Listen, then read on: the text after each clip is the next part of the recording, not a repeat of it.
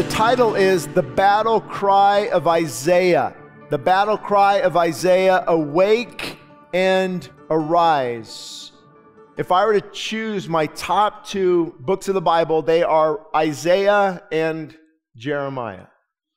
My heart resonates with them. I just everything is highlighted. I just I just can't get enough of these prophetic voices. The reason is they parallel with America.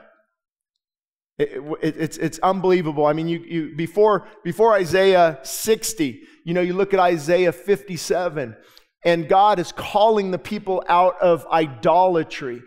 He's saying, You slay your children under the trees and you chase after the harlots and the prostitutes. And, and when you cry out for help, let your idols deliver you. And he talks about their idolatry and, and, and calling on the name of the Lord. The prophetic books are often not chronological. It's not like exactly this happened here, you know, chapter 57, 58, 59. It's not like a history book, so that makes it difficult.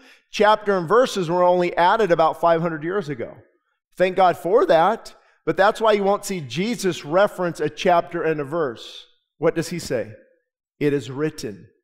So, all these people, negative Nellies that like to email me, where's the chapter and verse? Hey, I'm just following Jesus' example. I'm just preaching from the heart. It is written, it is written, it is written. And when you saturate your mind in the Word of God, sometimes it is written just comes out. And so there, there, there's this cry. You see, I, I mean, I see Isaiah 57, you know, he's building up, and, and but then he doesn't leave the people there. He says, Cry aloud and spare not, lift up your voice like a trumpet. Did you know that that is Bible preaching sometimes to get a little loud? Isaiah, cry aloud, lift up your voice like a trumpet, let the people know about their sins. And of course, Isaiah 59 is my hand not short, my ear heavy that I cannot save, but your sins have, have, have hid my face from you. And he talks about people say, But Lord, we're seeking you and you're not answering. We're even fasting and you're not answering. What? We're fasting and you're not answering? What's wrong with the equation? He said, Because your heart's not right.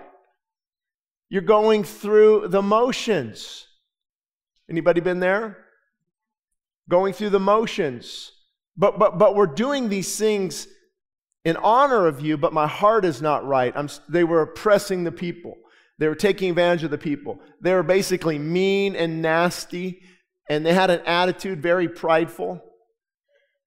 And God said, This is the fast I have chosen. Loose those bonds of wickedness. Loose those and go and, and help the people, the needy. Humble yourself under the mighty hand of God. Then your light will shine forth. Then you will be called a repairer of the breach. Breach, something is breached in our nation. And I believe we all have a, many of us have a, have a yearning to make a difference. There's got to be, this is perversion. This is corrupt. This is evil. The only thing a third year old, third grader should know about sexual orientation is that girls have cooties. Not all kinds of illicit, perverted things. And you can, I believe we can repair this breach, but it's going to take a lot of humility and brokenness and seeking the heart of God.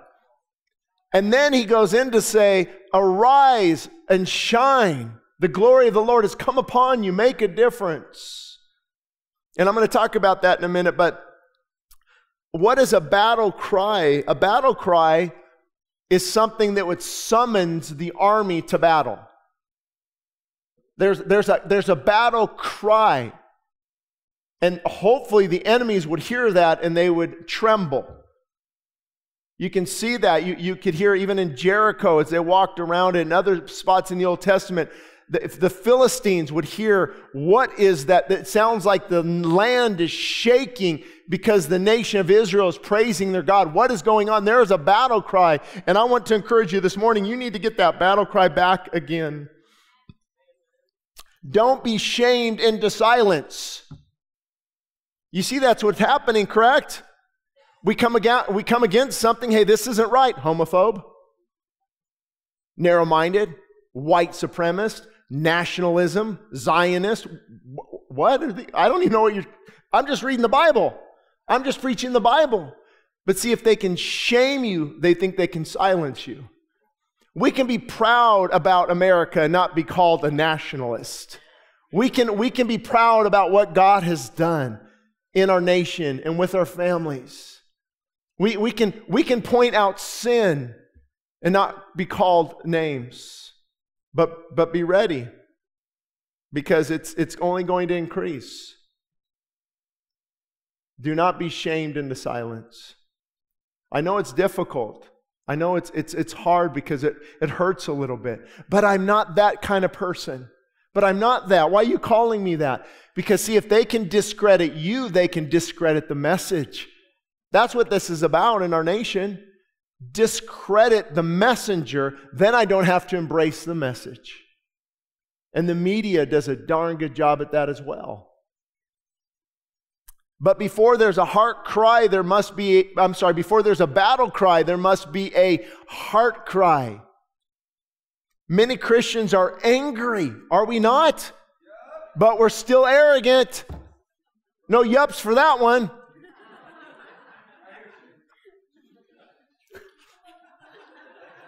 I couldn't resist. Well, that was great.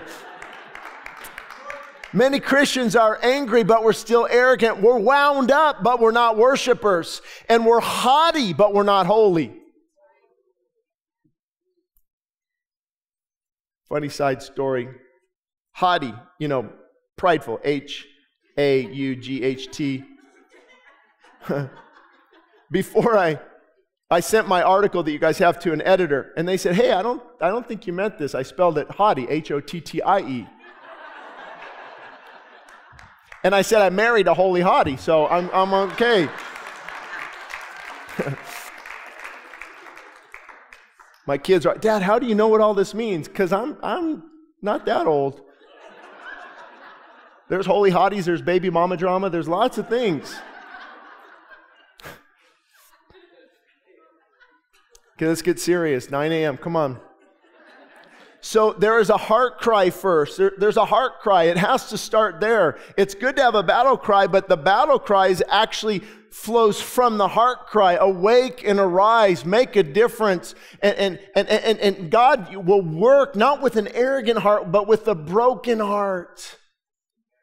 Look at what he does in the life of brokenness.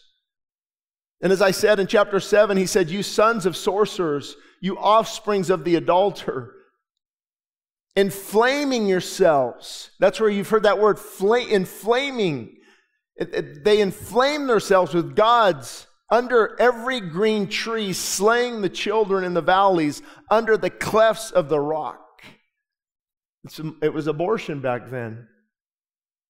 So that's when he said, When you cry, let your idols deliver you. And of course, at this point, I know in, in the minds of some people, and rightly so. And I get this question sometimes. Well, Shane, what about grace and love? What about grace and love? Well, just look at Isaiah 55. God says, Everyone who thirsts, come to living water and drink freely. If, you, if you're thirsty, come to me. And, and if you seek the Lord, he will find you. See, grace and love, and we talk about that, doesn't erase judgment. They work together in harmony together. That's why Paul would encourage Timothy preach the whole truth. Preach the word, Timothy, all of the word. And we've crossed a very dangerous line. They crossed a very dangerous line as well. Their blatant sin demanded a strong rebuke. Can we all agree with that? That we, we need a spanking from God. Our nation needs a spanking. If he could spank anybody, I would, I would direct him to Washington, D.C. or Sacramento. But it, it's where, where a person is at, or where a, and, and we've done this at the church, there's love and grace, but sometimes you need to pull out the hammer. And, they, they demand, it demands a strong rebuke. Jesus goes in and, and turns over money, the money changers' tables and makes a whip and drives them out. It demands a strong rebuke. And I've shared with this before, but you know, God really, um, I don't know if He softened, I don't know what the, even the right word is, but years ago I, I was frustrated at my calling. I mean, my mother in law is here. She says, Well, Shane, let me tell you about Shane. You'll either love him or hate him. Is that true? I mean, so many of you, thank you. We need to hear this. Oh, my Lord, I've been changed. And then others, how dare you? You, you, you, you, you. The, the, conviction is tough. And, and so you're angering and you're helping and you're angering and you're helping and you're angering and you're helping. It's, it's, it's hard. And I began to complain many years ago. And, and God would just, but this is, this, this is what I've called you to do. This, this is, you, you, you're going to be John the Baptist, not John the Beloved. And so once you become comfortable with your calling, doesn't mean you're arrogant. Actually, the, actually, the bolder you are, the more humble you need to be. And it's a very hard balancing act. I haven't arrived, I'm a work in progress. But I can see why now what God would breaks and breaks and breaks because then you can preach with tears in your eyes the difficult truths of the Bible that need to be preached. They need to be, especially now. And now we, it demands a small, a, a strong rebuke. And I get frustrated, as do many of you. We, we look across the landscape, even maybe pastors on TV, and what, what, you, you think we're living in the 1950s. That's all you're, you're just smiling and encouraging and smiling and encouraging. I just talked to a pastor recently and explained the deep state, because there's no deep state. That's all conspiracy theory. Trust me, there are people in highest positions of office that are at odds because they have different world views. When past presidents put people in positions of office, it's no secret who Obama appoints, if those appointees are still in office, it's going to be kingdoms colliding. So this, is not conspiracy. If it's true, it's not conspiracy theory.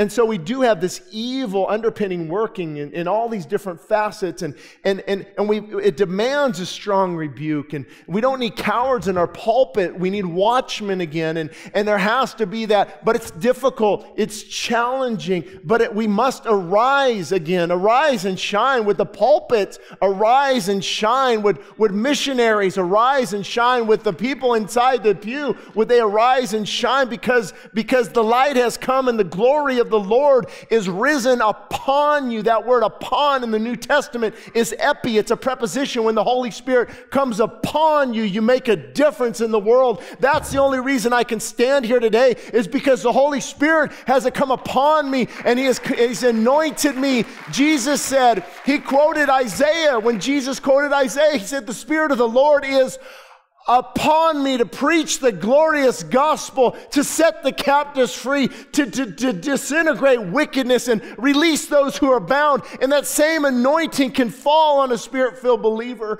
if they surrender their life. Okay, I'm done. I can go on vacation now. You guys are ready. And still, before we get to 60, look at the heart of God. Yes, some strong words, but then in, in, in, chapter 57, for, for thus says the high and lofty one. For thus says the high and lofty one who, who inhabits eternity. I dwell, I dwell with a contrite and a broken people. The best way to go up is to go down. The best way to be used by God is to be unused by yourself. He says, I dwell, I dwell with him who has a contrite and broken heart. If I could preach one message throughout the United States other than a message of salvation, it would be humble yourself under the mighty hand of God, break under the hammer of God. Church, we need to repent. The biggest need in the church today among Christians is to be filled mightily with the Holy Spirit. There's too much jockeying for position or starting this program or give me the ministry. If I was on that worship team, I would bring down heaven. No, you wouldn't. You need to be on this altar and crying out to God and let Him change you and wreck you. God can change the course of human history through humility.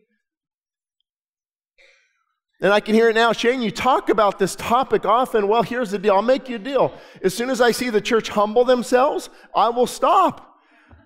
As soon as I see this altar full at 6 a.m., do you know we have a third service? Doors open at 6 a.m. We just have worship on for an hour and a half.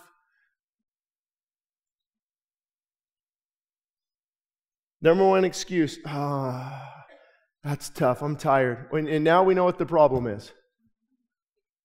It should be the opposite hungry for God, wanting God to make a difference, seeking God with all of our strength. What, is, what does seeking God with all of our strength and all of our heart mean? What does that mean? Does it mean, does it mean come to church on Sundays when I don't have anything else on my schedule? As long as I get a good parking lot, as long as he's done within a certain amount of time so I can feed King's stomach? Is that going to get us through these dire times?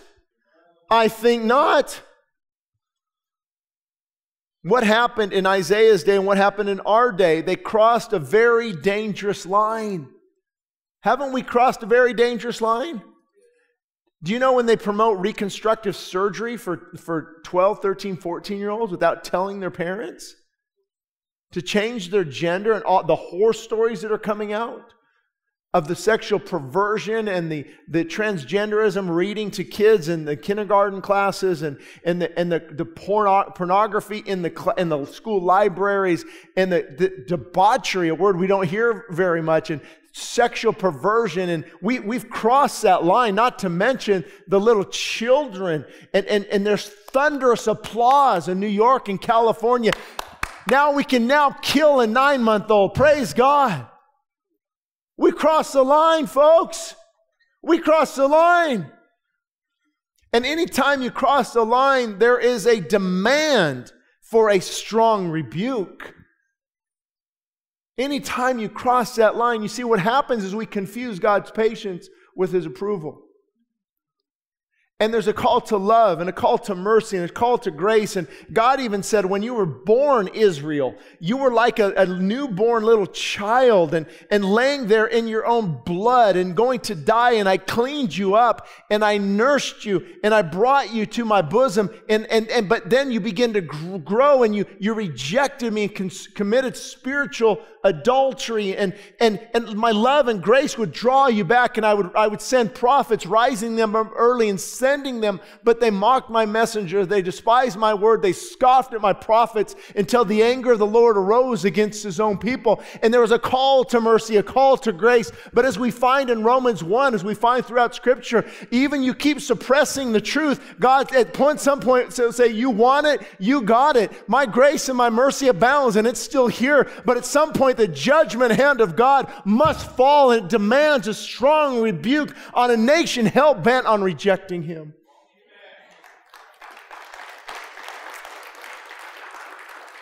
But then 57, he switches gears again. He says, Thus says the high and lofty one.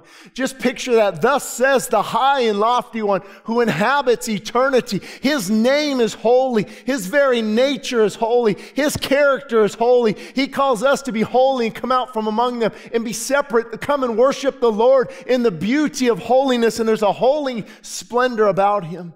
Thus says the high and lofty one. You better listen. I dwell. God will dwell with the people with a broken and contrite heart. Could it be if you're disconnected from God, it might be more on you and not Him?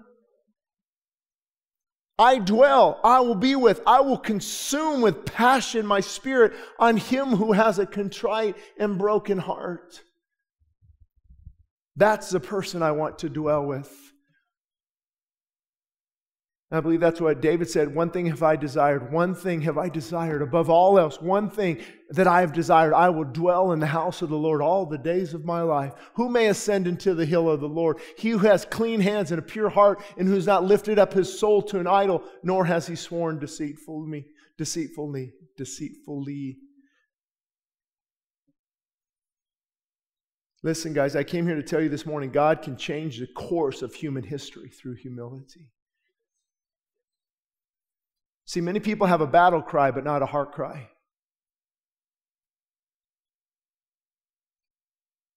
And if anything breaks my heart more than anything in the church, why I write books, why I fast and preach my heart out and pray, and I'm a work in progress too. Please look to the cross, don't look to me. Let me get out of the way. He must increase, why I must decrease, but I can at least point you in the right direction. I can at least point you to the right. One thing that breaks my heart more than anything, of course, the salvation of souls. But a lukewarm, timid, cowardly church that has no spiritual power. And I can tell you, out of a thousand people in a church, maybe 50. Am I, am I just being honest? Maybe 50, maybe 100. More here, hopefully. More here, hopefully. Because either, like my mother in law says, you, you, let me tell you, when she tells people about Westside Christian Fellowship, she says, Let me tell you up front, let me just get this out. And I've heard her say it, and I just laugh. You're either going to love it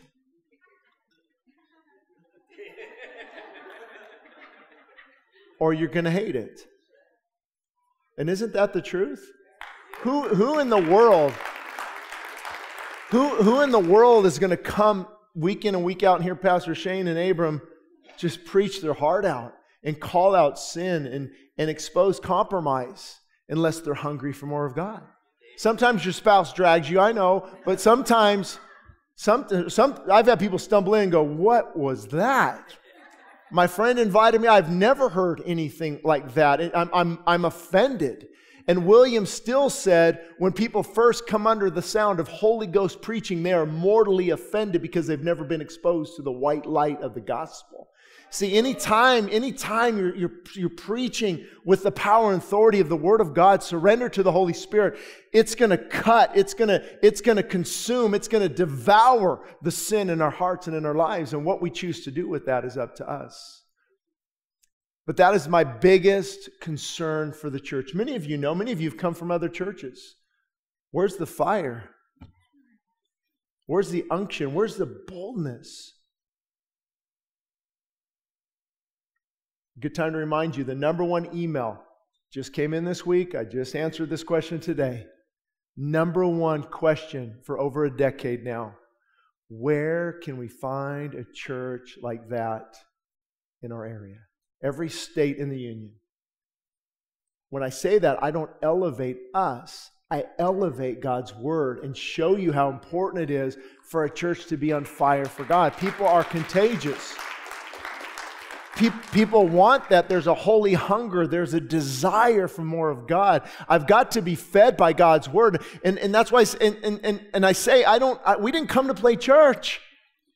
We, I don't know about you, but we didn't come to play church. We didn't come to have a social activity. Go rent the Elks Lodge if you want that. We came to hear from the living God. Lives might be crushed before they're rebuilt. Addictions might be exposed before they're dealt with. Marriages might break before they're restored. You've got to let the Word of God go. It is called a hammer for a reason. It is called fire because it devours. And the Word of God is sharp like a double edged sword.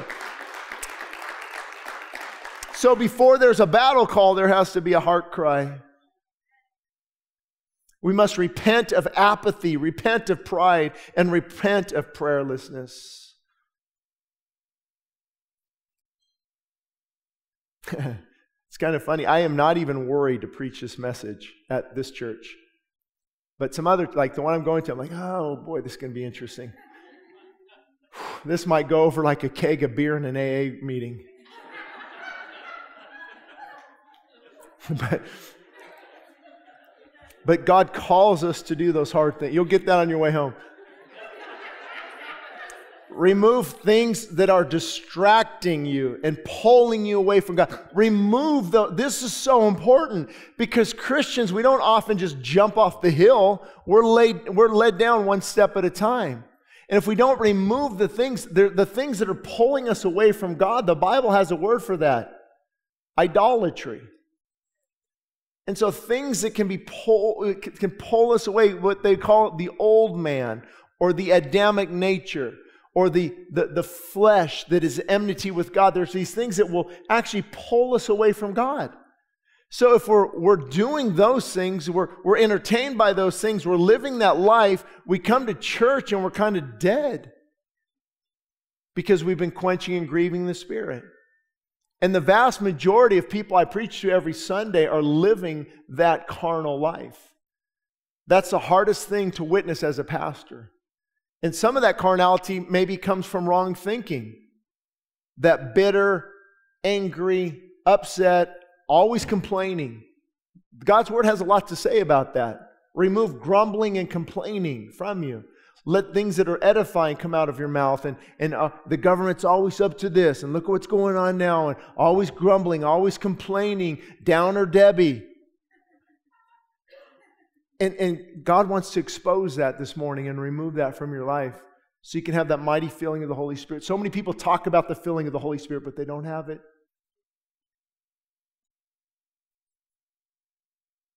They talk about the fire of God, but they're still eating ice cubes. Remove those things that are pulling you away. And I love when people, you're just, Shane, you are just too radical. Nobody can live up to this. Well, did you know this is historical, biblical, New Testament Christianity I'm preaching? The problem is we've drifted so far away from God's call to holiness that now holiness and righteousness and being filled with the Spirit, now it looks too hard and too weird and too bizarre and too extreme. You can call me a holy roller, you can call me a Jesus freak, but please don't call me lukewarm. There's a difference there that takes place in the heart of a believer. I'm preaching historical biblical Christianity. The New Testament church would come in here and say, okay, when was the last healing? When was the last breakthrough? When was the last demon expelled from a person? Well, we don't do that anymore. What do you do? Well, we sing a song, and then we have Brother Bill come up and give us some announcements about the potluck and the men's barbecue. And then we try to get through three other songs, about three minutes each, so we don't go too long. I'll get rid of the accent, I don't know where it came from. and then the pastor, he's down to 25 minutes because we just watched something that shows the, extent, the attention span of people is now down to 25 minutes. And then we're going to end with one good song, and then we're going to eat our heart's content. Is that going to draw us closer to God? The New Testament church said, that's not church, that's a social club. You, more, you might as well go rent the Elks Lodge. I can upset, I'm leaving, so I'm going to leave the mess. I'm going to leave the mess for next week. Renew, we've got to renew those spiritual disciplines. Get in the Word of God, live in the Word of God, schedule your time, or your time will schedule you. Listen, these things are foundational. As, as the storms come, as the storms come, the house that will not fall is the house that is built on obedience to Christ and His Word. That is the only house that you will see stand. If for some reason another virus miraculously appears and now the government is trying to do other shenanigans and shut down, you're going to see a lot of churches who will not make it. God is, I believe, showing, removing the chaff from the wheat. And, and with the real church of God, please stand up. That's how God moves in these dire times. 58, chapter 58, cry aloud, spare not, lift up your voice like a trumpet, tell my people their sins. And again, I already alluded to this, but why isn't God answering? Why isn't God answering? They fasted, but they're going through the motions. They didn't remove wickedness. And see, that's a word that kind of throws Christians off. I'm not wicked, Shane. Well, the wickedness, if you look in the Hebrew, you know, define, uh, interpret the word wickedness in the Hebrew language, what does it mean? It just means things that oppose the will and ways of God. So there is a lot of wickedness in the church, things that are opposing the will and ways of God. And that will draw us away. Break every yoke, he said, which breaks the addiction, break the besetting sin. See, there's got to be a fight, there's got to be a struggle. Paul doesn't say, uh, uh, put on a, a blanket for protection. He says, put on the whole armor of God that you may be able to stand against the wiles of the devil. And having done all, just stand there with your loins girded about with truth, breastplate of righteousness, the sword of the Spirit. And we are engaged in a spiritual battle. The, the sooner we realize that, the better position you'll be in to defeat the enemy. Top three, top three public school problems in the 1970s talking too much and making noise. Today it's rape, robbery, and assault. Bringing deadly weapons. There's a jungle now. It is very sad to see. He said, If you turn to me, if you break this yoke of oppression, if you turn from your wickedness, if you stop this fornication and, and even spiritual adultery and drunkenness and, and always just looking for entertainment, things that draw you away from God, if you repent of these things, then your light will shine. Then your light will shine. But I want the light now. No, you've got to break and repent of these things. Then your, your light will shine. And guess what? God will call you. He will, he will call you a repairer of the breach. What, do what does he mean? There's a, there's a spiritual breach taking place. The bridge has collapsed spiritually. There's a big void of destruction and darkness. God said, I will call you as repairer of that breach. I will put my light in you, but you've got to get back on the right track with me. Thus saith the Lord. 59, chapter 59 Behold, the Lord's hand is not shortened that it cannot save, nor his ear heavy that it cannot hear, but your sins have separated you from God, and he cannot hear. And so, see, you see the buildup, right? In Isaiah 57, the idolatry, he's calling out those people. He's, he's saying, let your idols save you. And then chapter 58 about calling the nation back and lifting up your voice like a trumpet. And then the, the great crescendo of Isaiah 60. And again, I don't know if it's chronological order. We don't know exactly because Isaiah would grab certain things, but he would say, I arise and shine, for your light has come and the glory of the Lord is risen upon you. Basically, be encouraged. The light is here. The light is, of Christ is here. The Holy Spirit can come upon you. He's not just in you. Because if he's in you, you could be quenching and grieving the Spirit. But when he comes upon you, and now there's a there's this light and there's this joy and there's there's this newfound freedom in Christ. But Shane, what about context? Well, good point. Because most theologians agree, and if you keep reading Isaiah chapter 60, the whole chapter, some of it towards the end, would, would have to do with maybe the millennial reign of Christ. Where there's a time where the, the, the, the, the Gentiles are going to be drawn to Israel, and, and it could have future application. But there's definitely present application as well. Most Theologians would agree on that. So, welcome to the mystery of God's Word. How can it apply to the future in many cases, but yet still apply to me? Because God's Word trans, transcends time and space and things like that. He, he can say something that is prophetic, but he can also say something that is now. He can also say something that was valid 2,000 years ago, the seven churches in Revelation, for example, that was, I believe, written directly to those seven churches in Asia Minor, about 500 miles above uh, Israel. Above Israel. It wasn't even, they weren't even in Israel. They're in Asia. They're up, up, up in a whole different area. Smyrna, Laodicea, Philadelphia, all these churches he's speaking to have relevance still today. It's amazing. I like what uh, commentator Stan Mast said about this, this whole chapter of Isaiah, and more specifically, this first verse.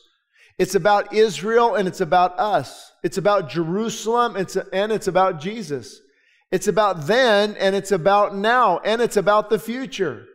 It's a text as pregnant with meaning as Mary was pregnant with the Messiah. Its good news is time bound and timeless and timely. For every time and every place and every person, the good news is that the Lord rises upon you and his glory appears over you. And that brings light into our thick darkness. And every time I read it, to me, it's a battle cry. Do you see that? It's a battle cry. Arise and shine. Arise and shine, for your light has come, and the glory of the Lord is risen upon you. To me, that seems like a commandment. Hey, I've done all this. Arise, shine, for the light has come, and the glory of the Lord is risen upon you. And Bible students will know if you keep reading that chapter, uh, it could have something to do with the millennial reign of Christ. It could have a, a future sense of fulfillment because of the language and, and how Israel will be a light to the Gentiles and different things. But there's something called present and future application. I just talked about. That this is very relevant for us today. And I like what theologian Stan Mast said. It's about Israel, but it's also about us. It's about Jerusalem and it's about Jesus. It's about then and it's about now. It's a text as pregnant with meaning as Mary was. It's good news. It's good news is time bound and timeless and timely. For every time and every place and every person, the good news is this the Lord rises upon you and his glory appears over you. And that brings light into our thick darkness. And I, I would, I would, I would say again, this is, this is the sticking point for many who call themselves Christians. And let me just say, those who are legitimately Christians, our blessing can become our curse. And so, so many people, and, and I've been there, I can slip in there as well, just as, just as easy as most people can. But there's this, this constant magnet that draws us away from God. Anybody can relate? Whether it's sleep or, I mean, it's really, if you want to know how the enemy's coming at you, it's going to be from three things. You ready for these? You taking notes? Well, we already know. The Bible tells us the lust of the flesh, the lust of the eye, and the pride of life. That's how he shoots at us. And so, what these things do, the lust of the flesh, if we cave in and we listen to it and we acknowledge it and we obey it, we begin to quench and grieve the Spirit. And now I don't want to rise and shine because I'm, I'm stuck. I'm stuck in failure. The lust of the eye. What the, oh, if I could just have that. You could just, have, that's where that phrase comes from, keeping up with the Joneses. Anybody hear that? Young, younger, younger people, bling bling. Got to get that bling bling. Got to be a, and, and so now they want to be now now so many young adults want to be um, YouTubers and make fifty thousand a month. And, and, and it's, it's the lust of the eye. So see, as these as we're fulfilling and following these things, we can be drawn away from God. See, we want the haughty, but not the holy part of it. and then the, the boastful pride of life.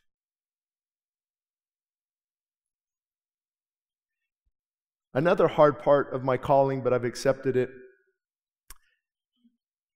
is it's, it's as consistent as the sun rising. I know who I upset by the feedback on Facebook, Instagram, Twitter, emails. And when, a, you throw a rock into a pile of dogs, the one that yelps is the one that got hit. And so when you're preaching these kind of things, the things that hurt, the conviction, those who want to change, God does miraculous things. But those who get upset, how you're just extreme. You're just, you're just, you're just in my face. You're just, you're just mean spirited. No, I'm just being biblical. It's called conviction. You need to stop running from it. It's, it, there's a, and, and that's, that's how the enemy will work the lust of the flesh, the lust of the eye, and the pride of life. And so, if we're to arise and shine, we've got to repent and keep these things at bay. Oh, they'll knock on the door still, they'll, they'll still want to come in. But do you, do you allow them entrance and now the enemy has a stronghold? And then pride says, It's not me. I can handle this, I can control this. And we can't arise and shine. And it's interesting. He's saying, Your light has come. Jesus has already come. As a benefit of Jesus coming, he said, I must go. He told his disciples, I must go so I can send the helper to come alongside you and to be in you and then to come upon you. In the New Testament, there's three prepositions for the work of the Holy Spirit alongside, P A R A, and then in you, E N, and then epi, upon you, an overfilling of the Holy Spirit. So don't let this stuff scare you, it's all biblical. But many conservative churches are afraid of this topic because they haven't experienced a mighty move of God's Spirit. And many Christians, if there's a couple different topics that upset people, it's the one on the deeper life. Isn't that interesting? When I start to talk about spiritual awakenings and revival and fasting, oh my goodness. Man, the hatred on Facebook, you just stay in your lane, you just preach the gospel. And I go to their Facebook page, oh, they're In-N-Out burger. No wonder they don't like me preaching about this topic. Right? And, and they don't want to be, they don't want that deeper life. All night prayer meeting, count me out. Worship in the morning, not me, not my style. And people get convicted. And then they have to start making excuses and putting me down to hide their lack of spiritual fervor. That, that's, just, that's just the bottom line. I'm just shooting you straight. Doesn't mean everything I say is perfect because a lot of it's not. But I'll be the first to admit if I say something off. I'll be first to admit if I, if I push too much. But I don't think the problem now is we're pushing too much towards spiritual disciplines. I think we're drawing away from them.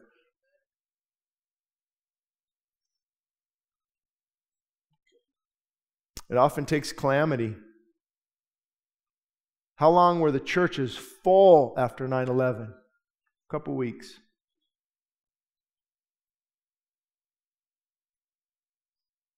Couple weeks. You think China's threats to Taiwan are just are just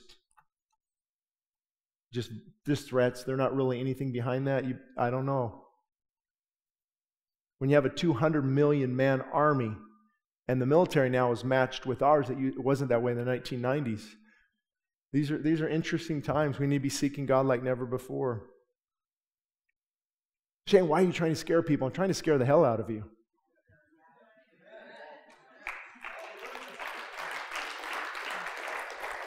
I'm, I'm trying to scare the compromise out of you. Because I'd love a church filled with the Spirit of God. So, what you think is hurting is actually helping. What person is going to stop a surgeon and say, No, don't remove that cancer? I don't like you. That's going to hurt. Nobody would. The glory of the Lord has risen upon you. That word glory is interesting. It's, it's beauty, it's divine glory, it's radiance, it's magnificent. And, and there's something about a person when the Holy Spirit has, has just, just so, I don't even know what the right word is. I'm, I'm I, just so overcome them they're not perfect. They still have, you know, issues, but there's a there's a there's a beauty, there's a radiance because the Holy Spirit is now working in and through them. And there's a call to arise, shake up off the old man. We are trying to prepare an end times church, not build a country club. We're trying to encourage your children and, and put the fear of God in them and, and build up an end times warrior, putting on the whole armor of God, not some weak, cowardly, woke church that will do nothing for God. Have you ever noticed that? The woke churches. The woke churches that the, the pastors aren't going to talk about anything controversial. They're just going to, you know, make everyone feel warm and fuzzy. That will not get them through the difficult times. It, it just won't. God may close down more churches. Can you imagine what would, what would be the, the strongest stench in the nostrils of God? But to have somebody who says, We're the church, and they're not the church. They're cowards. I just had somebody today. A, probably, I think the person that, that uh, asked me those other questions. I'm, I'm moving to a certain state and we, we looked around, we saw so many churches that flew the rainbow flag or the BLM curriculum. They're woke and weak and lost. That's just the truth. I don't have a gra- axe to grind with anyone. But the, the word, if you're not sure really what woke is, it's just a new word for political correctness. I don't want to offend, so I'm going to tailor my message as not to offend. And we forget in doing that, we just offended the cross. We just offended God. Nobody's left yet. That's a record on these kind of messages. Isn't that true? The darkness hates the light. We're trying to develop children who are, will be warriors for the faith, might end up dying for the faith, can expose the unfruitful works of darkness, to be gentle and loving and humble, but still able to do battle until he returns. And that does not easy. Why do we always forget that when it comes to spiritual things? Like we think we can just be lazy. We'll be down at Coronado, not too far from Navy SEAL training. Go ask them about laziness. How are the most, most powerful military people, whether it's Army Rangers, Navy, whatever it is, because I get Army Rangers mad at me when I say Navy SEALs and vice versa. So, but uh, they prepare for that. Army, they prepare for that. An athlete prepares for that. All these other areas, we don't think it's weird. Uh, it, it's, it, it's expected that Kobe would work out that much, or Jordan would work out that much, or whoever your favorite athlete. It's, it's expected. Olympic athletes work their heart out year after year for one little thing that perishes. But when it comes to Christians, we think we can just be lazy and, and laid back and, and experience the wonderful blessings of God. Let me tell you, no blessing comes without obedience. The fruit, the fruit comes after the warfare. Any Green Bay Packers fans? Steve, I know you don't have to raise your hand. Vince Lombardi said to his players, Any man's finest hour, the greatest he holds dear, is when he lays exhausted on the field of battle, victorious. How much more the Christian? Your finest hour is going to be when you lay exhausted on the field of battle, victorious. Oh, the regret that might go through the minds of millions. If I would just arose and shined. If I would just fought for the things of God. Not physically. Again, your, your, your, your gun safes are full, but your prayer closets are empty. Am I just preaching truth? It's not, it's not coming from arrogance. It's coming from a righteous indignation. I guess Jesus was arrogant too, huh? When he overtook the money changers and threw their tables on the ground and whipped. God, uh, he whipped them. I would love sometimes to whip some, but you can't do that kind of stuff. But he could get away with that. It, he could get away. Don't worry, it wouldn't be hard. to be the, you know how you roll up the wet towel and you just, come on, wake up, get up, cry baby, get up. Get up, arise, and awake, and put the Spirit of God upon you because the darkness is over going to come us if we don't wake up. You're worried about 2024. I'm worried about right now and being on the floor before God.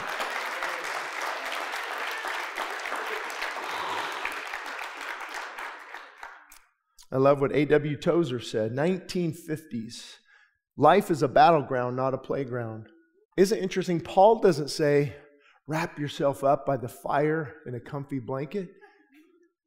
Put on the whole armor of God that you may be able to withstand the wiles, the trickery, the craftiness, the deceit of the enemy. And having done all, stand. Just stand there and fight, Shane. How, Paul? Like a wimp? No, with the breastplate of righteousness, with the, with the belt of truth, with the sword of the Spirit. Shod your feet in the preparation of the gospel. Protect your mind with the helmet of salvation. Go get ready. Get ready. For, I'm ready for that battle cry to put on the full armor of God. Your children, your children need to hear you. Stop complaining. Stop living in fear and put on the whole armor of God and let them know I've already already told my kids I might die for the gospel. I might take a bullet in the head for the gospel, but at least I can die knowing that I serve the King of Kings and the Lord of Lords with a boldness and a battle cry. Don't, don't, don't look to me. I struggle with cowardliness just like everyone else. What, what's the difference? The power of the Spirit. I'm telling you. I've been saying that for 12 years ever since we started this church. I think my very first message was on Isaiah 57. I opened the MacArthur Study Bible this week, and I remember writing that first message of the church, September 25th, 2010. I'm a little more broken now than that time.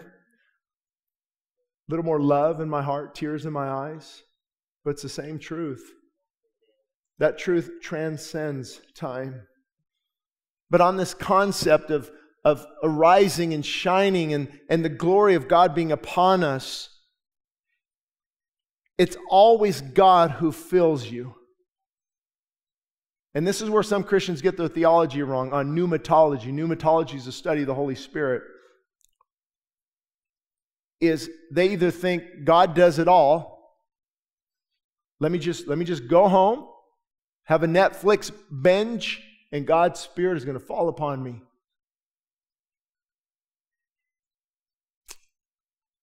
Okay, let me talk to you after service if that's, that's you, because we need to talk. But then there's the other side where it is, and I've, I've, I've you know, I struggle. It's works, works, works, works. I got to fast again. I got to do this again. I got to do this again. I got to work. I got to work. I got to work. I got to work. I got to work. I got to work. I got to work. It's exhausting. And as always, the middle is the healthy spot. God says, It's my work, but you need to yield. You need to give the right away. You need to yield to the work of the Holy Spirit.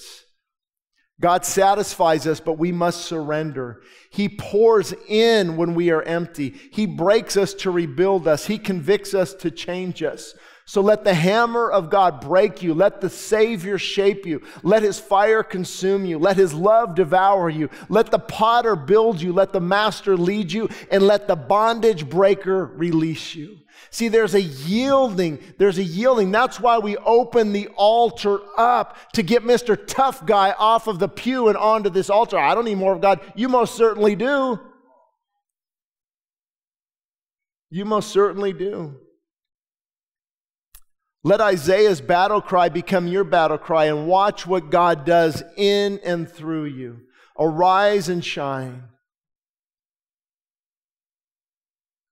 What greater call do we have? What greater call do we have? We've got to get rid of wrong thinking as well. What I call stinking thinking. Anybody negative out there? Oh, that wasn't a very good response. Anybody negative out there? It's hard right now, I know. But grumbling and complaining is, gonna, is going to cause God's spirit to be quenched and grieved because the Bible says, give thanks in all things. Not thanks, not thanks about things, but thanks in all things. So I have the, the right heart, the right attitude. Yes, I'm fighting this, in this severely dark demonic agenda in California. I don't like what a lot of things that are going on. I, am not a fan of the new uh, proposed budget, whatever, adding like 50,000 more IRS agents. No, no agenda here. No, no, no. Right, these things can get you a little discouraged. How our military is becoming weak and woke. But don't let that put out the fire in your heart. Let it stoke it. Okay, now I'm getting to morning worship. Now I'm getting to church every. Now I'm going to open the Word of God again. I'm going to pray for for an hour and read the Word with my. I'm going to I'm going to let this fuel my fire instead of getting all bent out of shape and doing nothing. What can you do with an arrow that's bent out of shape? Zero. God needs us to straighten up our hearts. And I know at this point, a lot of people, but Shane, my marriage, but my finances, but my parenting, but my health. But when you when you get your arrow straight, when you get your arrow straight, a lot of other things fall into place. So many things fall into place. I think Pastor Abram can would attest to this, but I, I would say close to 90% of all marriage problems would be fixed if both people humble themselves and got straight with God. The problem is carnality and pride and arrogance. And so many people, you know, like, well, Shane and Morgan, how do you guys do it? We, we, we need God every day. You don't think we'd have big marriage issues? Absolutely. Ding, ding, ding, ding, ding. If we go back to the old nature, the old way of doing things, that old Adamic, prideful nature comes up. So, my question is what's it going to take to break you? What's it going to take?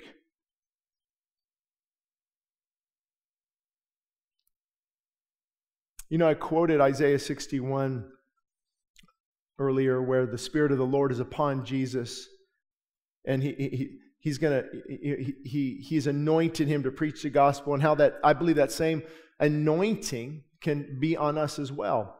Let me explain again. Jesus said, "You will do the same things that I do, and even greater." Not greater. It, it, nothing can. Nobody can do anything greater than Jesus. Raise the dead. Any, any, he knew God's will perfectly but greater in scope where you have millions of people filled with the Spirit doing things for God. And this is exactly what a spirit filled believer is to do to preach the good news, to, to, to, to heal the brokenhearted, to proclaim liberty to the captives. But something where Jesus actually, Jesus actually stopped before he said, and the day of the vengeance of our God. He actually said to proclaim the acceptable year of the Lord and the day of vengeance on our God. And I believe the reason was it wasn't the day of vengeance yet. I didn't come to destroy the world, I came to seek the world. Remember, he came as a lamb, but he's coming back as a lion. Israel was expecting a lion, but they got a lamb and this day of vengeance on our God. That's why I love Amos, too, one of the prophetic voices. He said, Prepare to meet your Maker, O Israel. And many people need to be challenged by that today. Don't you agree? America, Christians, prepare to meet your Maker. Prepare to meet your Maker. And before you get all worked up about Amos and being some great prophet, this must have went to school and, and had this great upbringing and this great lineage. He was a, he was a, he was a sheep herder. He was a sheep herder. I think he, he was around 210 years after Solomon dedicated the temple. You had uh, a, a, a couple kings in Judah and Israel. This is about 30 to 40 years before Israel was invaded by the Assyrians. Almost that same 250 years, almost the same amount of history America has had. There's a, there's a lot of parallels.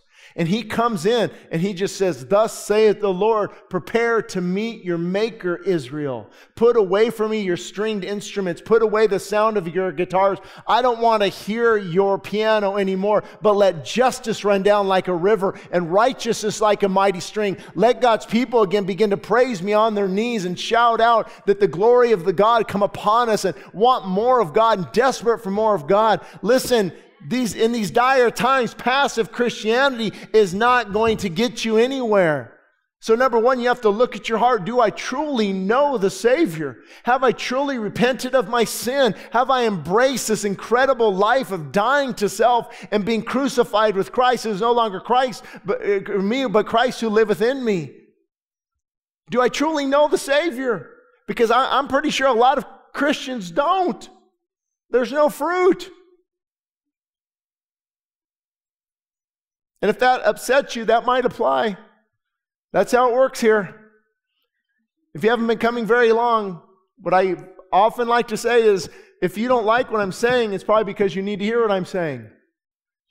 It stirs up the hornet's nest when you confront compromise, when you confront dis- disaster in, the, in our personal spiritual life. So that's my challenge to some of you this morning, some watching, listening later. Do you truly know God? Do you, have you truly repented? Because, see, knowing about God is not knowing God. Knowing God is when the heart breaks, their repentance takes place. I see myself as a sinner. I see myself, I have, I'm not right before God. This is not acceptable. God, I am dark and, and I am, I am, I am evil and I'm wicked and I've been trying to do good things and, and that doesn't cut it anymore. God, I'm repenting. I'm changing my mind with how I see things. And as a change of mind, there's a change of action. Repentance. And believe that Jesus Christ is the only way to, to God the Father. I repent of that. And you'll see a lot of Christians finally become Christians. And then, of course, the, the group I was in for so many years, and many listening here fall in this camp. It's the, the Christian who's been grieving and quenching the Holy Spirit. This doesn't apply to you any more than it applies to a non believer. You're going to leave here, nothing's going to be different. You're not going to witness to Jesus Christ. You're going to put on the same music. You're going to drink the same alcohol. You're going to have the same lifestyle. Nothing is going to change. Am I just being honest? Come on. I'm not 12. I know how things work. When there's no fire in your heart, there's no fire in your life. And you come here on Sunday wanting more of God week in, week out, month in, month out, year in, year out. But the fire's not there. You've got to make a radical decision to completely surrender everything. And I still do that. I, Lord, I give you everything, but not that. Mm. Can I still be mad at that person? Can I? Mm. It's, it's that fully surrender, getting the heart clean. And what I've noticed, full surrender is really deep repentance. I'm repenting deeply of these things. And as a result, I'm filled with the Spirit. So the only way to really arise and shine and be filled with the Spirit is to acknowledge that pride is preventing that, besetting sin. God is not on the front burner. He's not even on the back burner in your life. He's out in the garage, and you might get to it when you can. Listen, if you think I like I come here and I like to say these things, oh, I don't. I even struggle, Lord, I'm not why do I have to talk about that? Why can't I just talk about Joel Osteen stuff? I mean, wouldn't that be cool? Just smile. No, I'm just, bear with me. Just smiling, right?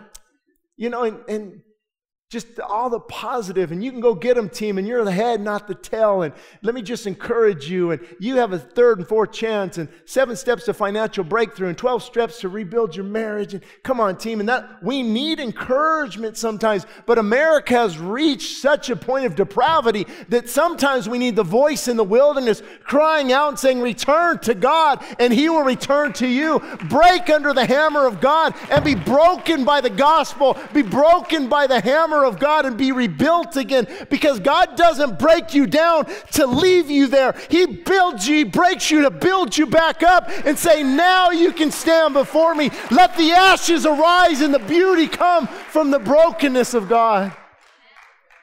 Amos, the prophet Amos said, Prepare to meet your maker, Israel. Prepare to meet your maker. And I don't know where all of you are today, those listening later, those listening now, those here, but are you prepared to meet your maker? Are you prepared to stand before God? Because, see, many people have a form of godliness. They go through the motions. They've been a, they they're a good person. And one of my favorites, oh, I, Shane, I've been a Christian all of my life.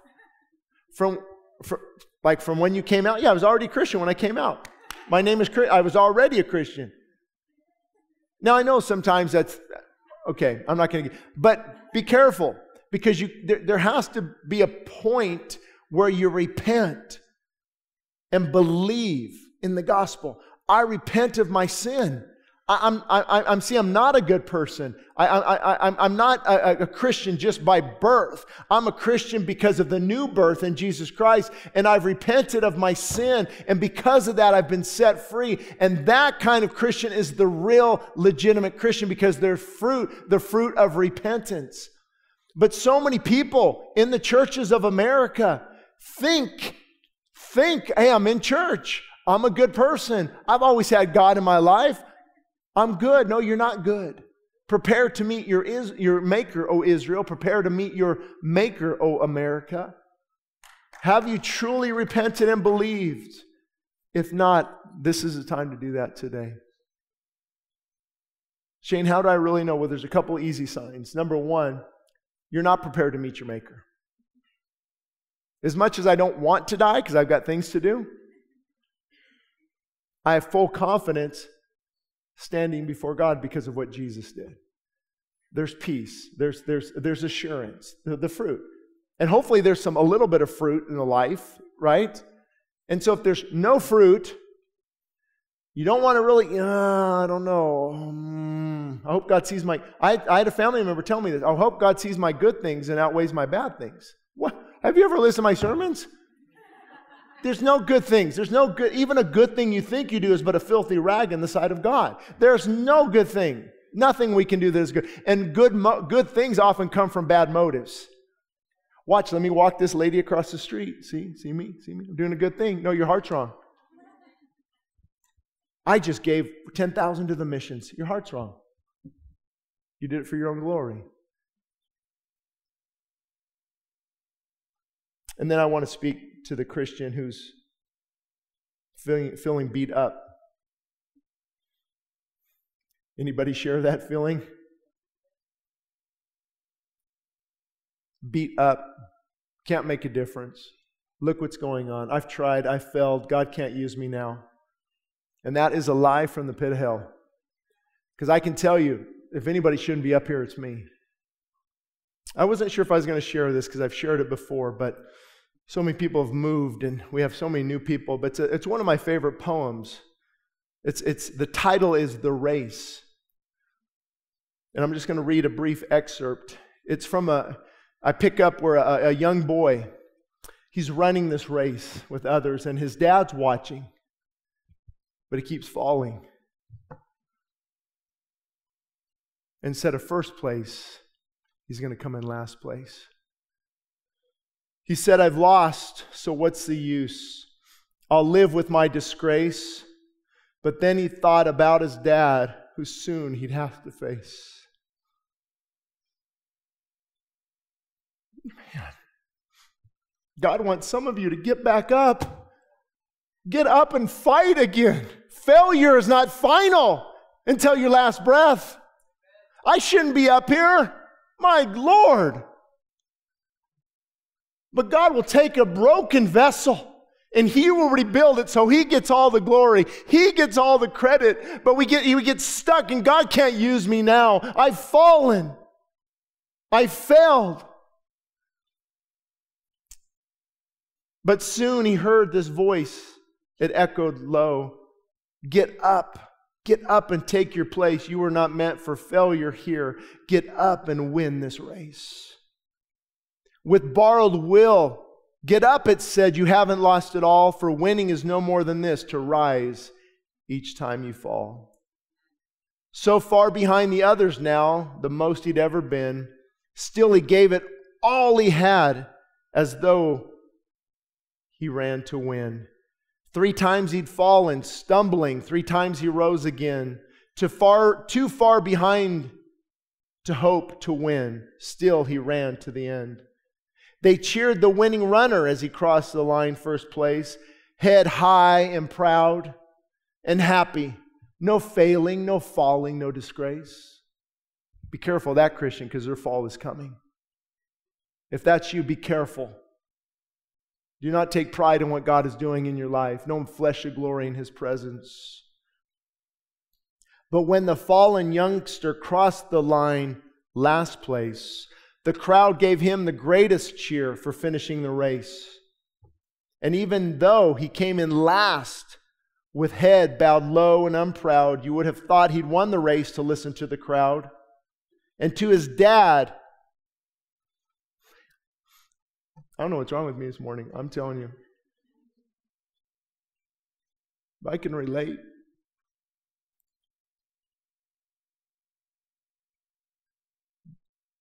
But God, I didn't do too well. And to his dad, he said, I didn't do too well. To me, you won, his father said. You rose each time you fell. For all of life is like a race with ups and downs and all, and all you have to do to win is rise each time you fall. We hear the word perseverance a lot, don't we? Have you ever broken that word down? Per severe? Severe?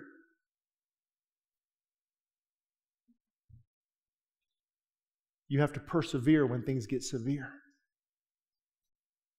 Get up, get up and take your place. You were not meant for failure here. Get up and win this race.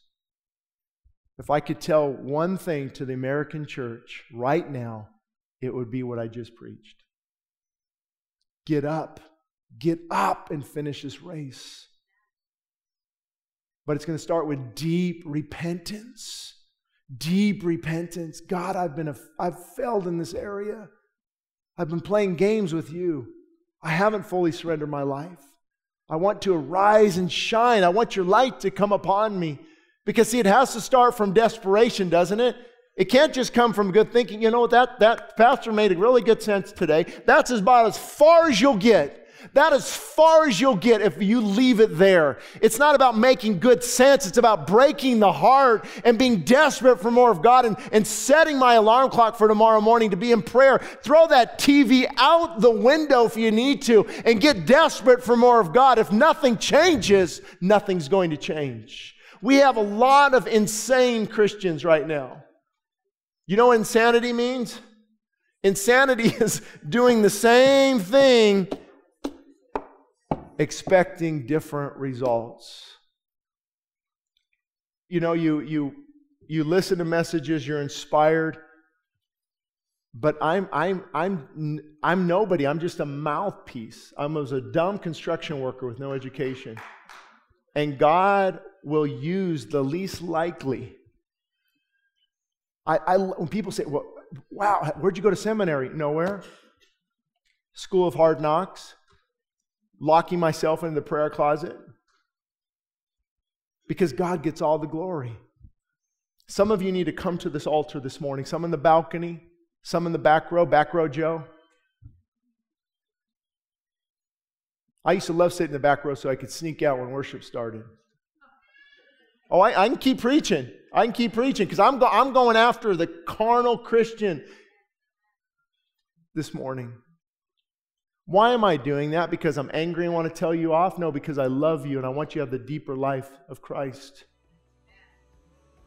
Because I know the carnal Christian is the most miserable spot you can be. Double minded man, unstable in all his ways.